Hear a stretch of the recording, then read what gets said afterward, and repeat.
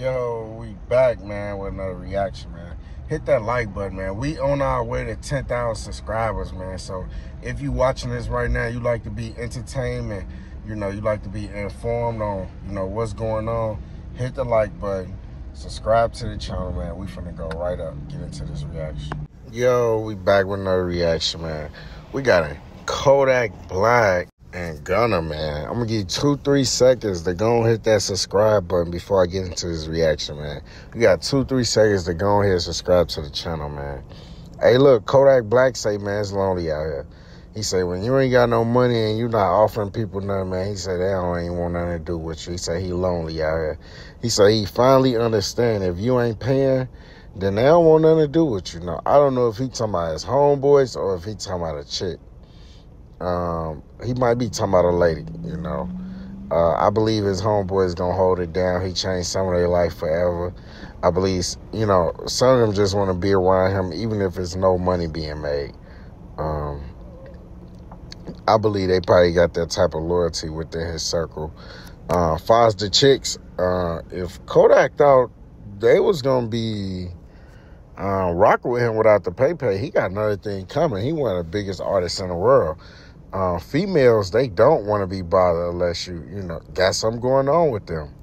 You know the kind of women you want they got all type of guys in a dm uh, begging to fly them out begging to do this begging to do that. So i could see you know kodak probably you know having this to say about a female not so much as a guy you know what I'm saying? What's y'all thoughts on who y'all think he talking about, a female or a guy?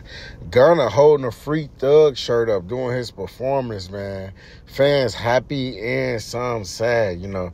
Some saying it's bittersweet that, you know, Young Thug been on trial hundred some days and Gunna out here living his life, um, doing performances, going up. I tell you what though, if Gunna weren't going up, it'll be even harder.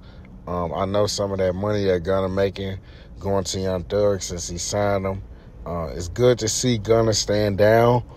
You know, uh, he could have easily um, got out, find a reason to get off the label, um, saying that, you know, went through whatever legal issues and, you know, still had his wave, but, you know, getting 100% of his earnings or probably splitting it with somebody else. So shout out to Gunna for that, man. It's Gunna a real one. For- Yo, a independent artist, if you're an independent podcaster, Listen, don't skip off this promo alert right here.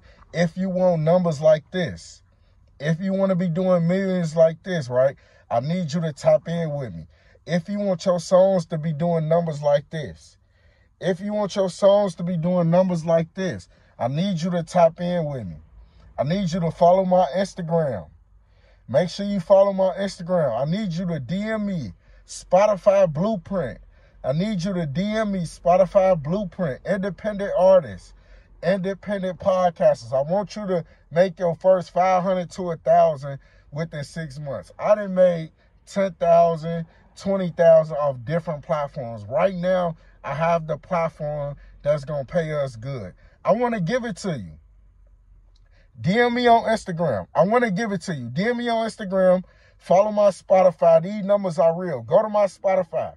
Look at my numbers. I've been paid out this. These is real checks. Tap in with me.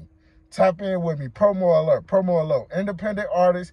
If you're not an artist, if you know an artist, tap them in with me. Tell them go, hey, DM him. Spotify Blueprint. I'm gone. Thank y'all for watching.